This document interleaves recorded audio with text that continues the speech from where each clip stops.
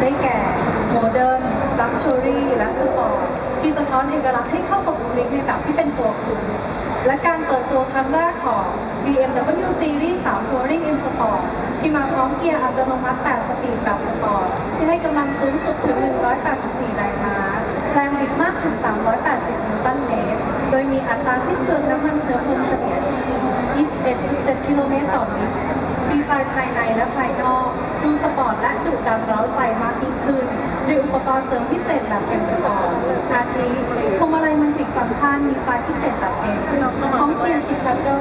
ชุดตกแต่ง aerodynamic กับบันไดดีไซน์พิเศษแบบ M และกรอบกุญแจรีโมทตัดด้วยกรอบสีฟ้าที่สะท้อนเอกลักษณ์ที่โดดเด่นไม่เหมือนใครค่ะ